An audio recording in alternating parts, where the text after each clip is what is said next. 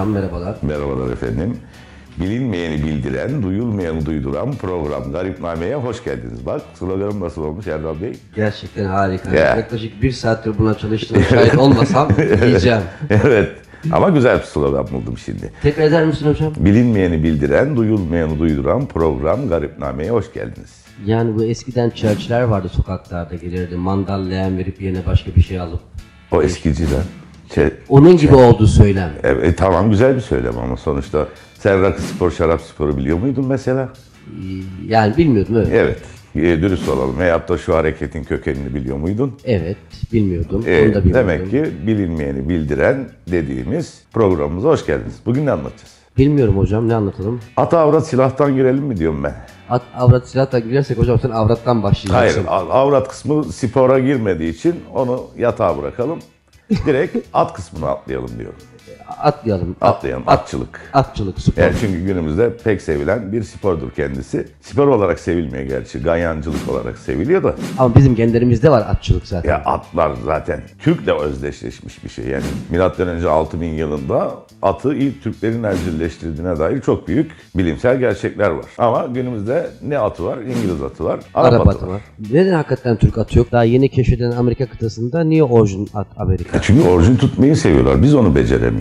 Orijin tutmak nedir? Yani anasından özellikle anasından itibaren mesela Arap atını düşün. Emevilerden itibaren her atın seceresi belli. Anası belli, babası belli. Senin e, kayıtlarına baktığında bir dönem şey olmuş diye E-Devlet'ten yedi göbek Evet. ailemize evet, bakıyorduk. Evet, evet. Sekizinci göbeğe gidemiyorduk. Gidemiyoruz. Ama atın mesela bir Arap atının veya İngiliz atının seceresine baktığında 117 göbek öncesine gidebiliyor. Çünkü bir hassasiyet var. Hepsine baktığımızda Türk atı çıkışlı bilimsel olarak baktığımızda. Nasıl yani? Hani İngiliz atı dediğimiz aslında Türk İngiliz atı. atı dediğin aslında şu ki Osmanlı'nın meşhur atları var. İkinci Viyana kuşatması sonrası bir dağılıyoruz biz 1683'ten itibaren. Ki Viyana kapılarına kadar ikinci kez dayanıyoruz. Ki niye dayanıyoruz onu da anlamıyorum. Çünkü bir kere dayandın almadılar. Belli ki almayacaklar. Niye zorlayıp duruyorsun kapıyı o da Hala zorluyoruz. eğer zorlamanın lüzumu yok. Almıyorlar demek. İşte orada bozulmada, darmadağın olduğumuzda bu din kuşatmasını bu sefer onlar yapıyor. Ve orada İngiliz generale esir düşen Türkler var. Hatta generalin adını da not aldım. Bierley yazıyor. Yerley. Nasıl okunuyor bilmiyorum. Yazılışı Bierley. İngiliz atlarının atası kabul edilen at bu Bierley'in Osmanlı'dan aldığı atı ve seyisi özellikle ganimet olarak götürüyor. Bierley Türkü diye başlıyor. Bayağı meşhur oluyor İngiltere'de ve şu anda İngiliz atı dediğimiz atların ilk çıkış orijini bu Bierley subayının götürdüğü attır. 1600'lü yıllardan 1600 itibaren. ita- yıllarından itibaren. Hatta bunun romanını bile yapmışlar. Türk Atı diye bir roman var. Okumaya meraklı arkadaşlar. Ee, tarihsel gerçekliklerle örtülenmiş. Sadece o atın seceresinin hikayesiyle başlayan İngiliz atlarının tarihine değinen bir roman bile var. Peki oradan da Amerika'ya mı gitmiş İngiltere'den Amerika'ya Şey, gitmiş? doğal, doğal olarak oradan geçmiş. Yani atın kökenine baktığında Türk'ten çıkıyor ama Türk atı diye bir şey bilinmiyor. Bu da bizim gerzekliğimiz olsa gerek. Biz neden sahip çıkamadık bu atlarımıza? Ulan neyimize sahip çıktık da atımıza sahip çıkar. Ne bileyim yani. Ama bak Kaşgarlı Mahmut diye bir eleman var. Ortaokul liseden hatırlarsın Evet. Divan Lügat Türk'te. Şey der, kuş kanadıyla er kişi atıyla yaşar der. Türk için at o kadar önemli aslında. At avrat silahtaki ata vurgu, avrat kısmını unut. At kısmına vurgu bu. Bak kuş kanadıyla er kişi atıyla yaşar. Bu ne demek? Vücudunun bir parçası görüyor. Atıyla öl- ölünce atıyla gömülüyor. Yani atı da öldürüyorlar. Evet atı da öldürüyorlar ama etini heba etmiyorlar. Etini yiyorlar. Et önemli unutma. Hani günümüzde biz at eti, aa eşek eti, katır eti falan diyoruz ya. At eti Türklerde büyük bir besin kaynağı. Biz o şekilde tüketmişiz yani. Evet şeyi 4 yıl önce Burger King'de at eti satıldığı ortaya çıkınca hatırlar mısın? Evet. Burger King'in CEO'su nasıl savunma yaptı? At eti dedi Türklerin geleneksel yiyeceği. Buna niye tepki gösteriyorlar ki anlayamıyorum demişti. Doğru demiş. yani çünkü şeye böyle baktığımızda, Oğuz Kağan destanına bile baktığımızda at etinin paylaşılmasında bile bir şey vardır. Hiyerarşi. Yani at sadece bildiğimiz bir şey değil, yediğimiz bir şey. İçtiğimiz bir şey. Kımız dediğin, Türk'ün milli ilişkisi dediğin ne? Ne? Ne? At At sütü. sütü yani. At sütü. Peki şu anda dünyada orijin at var mı böyle hani kökenli veyahut da ne diyeyim gelişi? Var. Özellikle Türkmenlerde hala şeyde Dede Korkut hikayelerinde Manas destanında bile adı geçen ve hala seceresi bozulmamış, buzul çağından itibaren insanlarla bir arada olduğu kesin tespit edilmiş Ahal Ata. Destanlarda geçen adıyla Kıhal Ata. Atın atası kabul edilen at hala orijinini korumaktadır.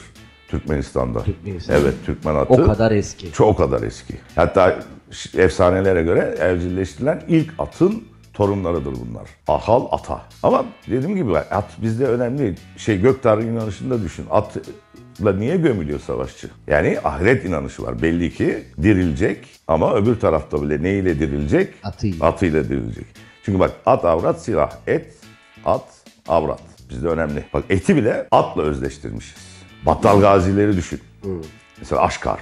Battal Gazi sadece Cüneyt Arkın değildir. Buraya şey olarak gene Cüneyt Arkın Battal Gazi koyarsınız montajda da. Diğer tarafa.